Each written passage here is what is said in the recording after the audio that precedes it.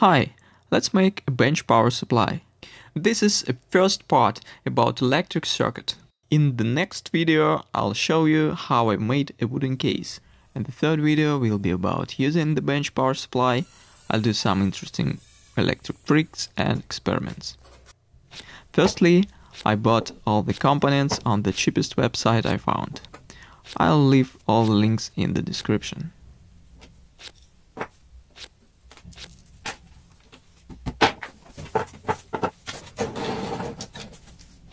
This a power cable and a power socket. The power socket has a 10 amperes fuse. It means if we connect any electrical appliance which consumes more than 10 amperes, the fuse will be blown and protect our circuit. Let's solder and check it.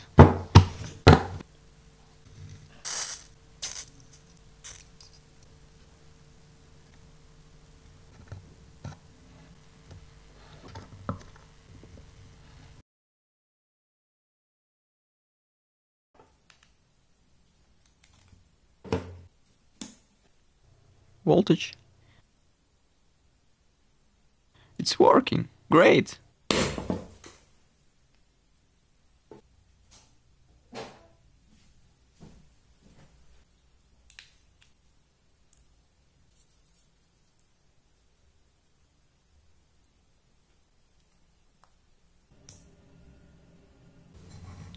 The main part of our project is this AC to DC power converter.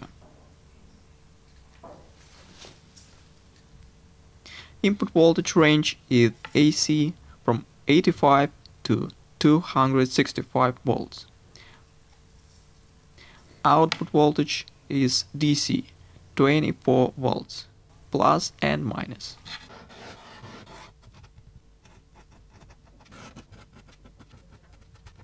Maximum load is about 4 amperes. It gives us 24 times 4 equals about 100 watts. The power converter has an overload protection and a short circuit protection. Let's connect and check it.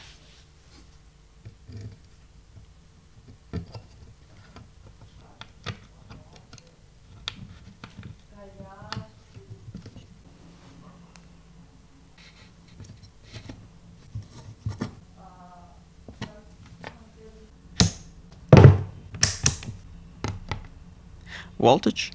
24 volts. Short circuit protection? Great. The next one is this voltage and current regulator. Input voltage range is DC from 7 to 32 volts. Plus and minus. Output voltage range is DC from 1.3 to 28 volts. Plus and minus Maximum output current is about 8 amperes.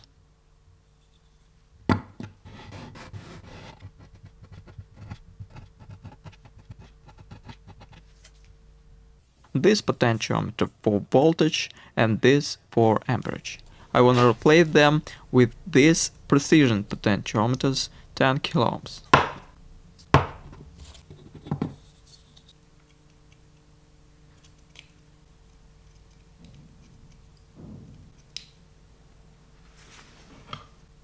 we need solder this first leg instead of this first, this second instead of this, this third instead of this.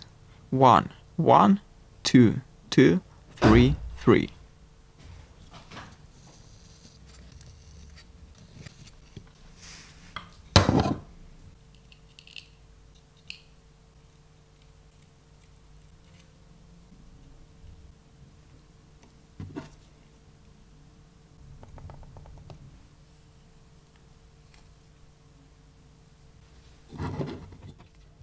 Let's connect this module.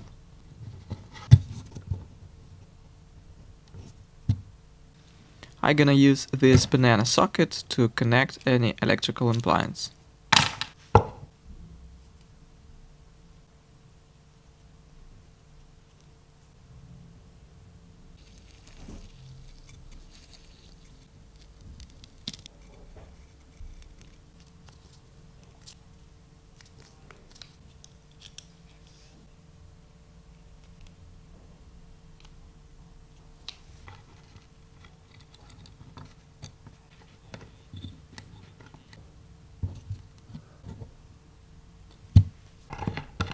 Minimum voltage,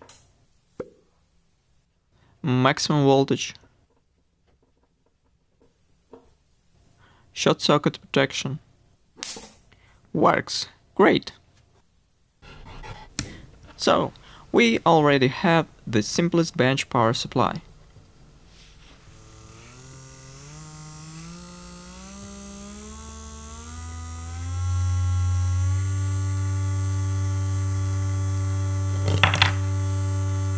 Let's make it more informative. This is a voltage and amperage monitor. We must supply from 4 to 28 volts to these wires, plus and minus. So we can connect them to these points. Here are 24 volts. This wire is for measuring voltage. We need to connect them to this plus output. And these thick wires are for measuring amperage. We need to connect them instead of this cable. Let's connect and check.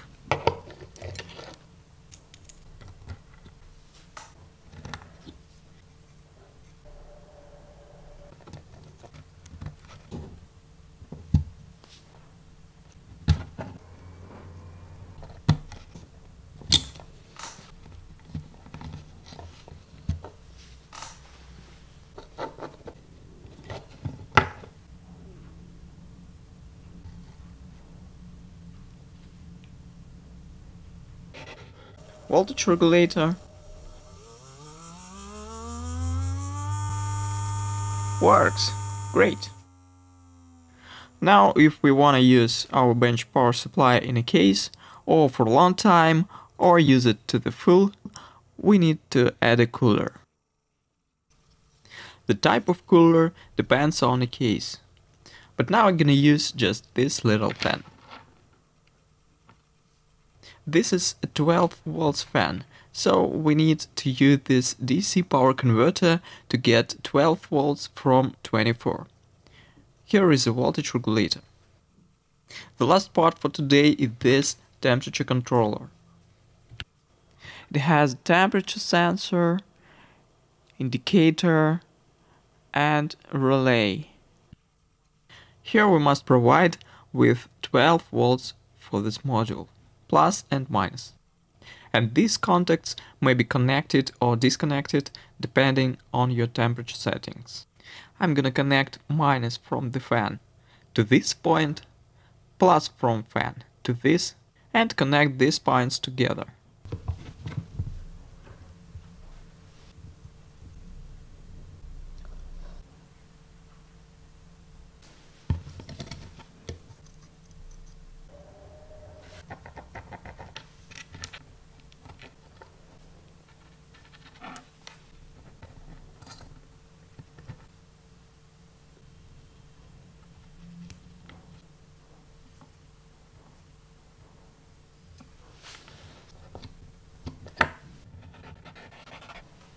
Let's check it.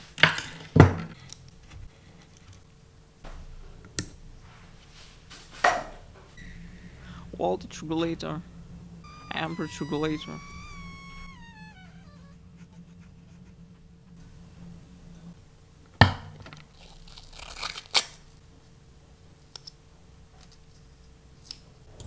Temperature settings also depends on your case. But now the fan will turn on when temperature reaches 42. Yeah, works. And turn off when temperature drops 40 degree.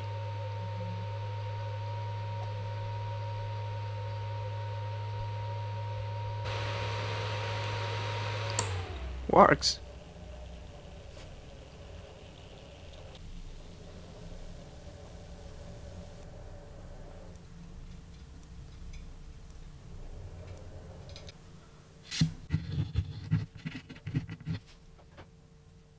So today we made a socket of 120 watts bench power supply. In the next video I will show you how I've made a wooden case And in the third video, I'll do some tests, amazing tricks and interesting experiments with this power supply. Thanks for watching and sorry for my English, bye bye.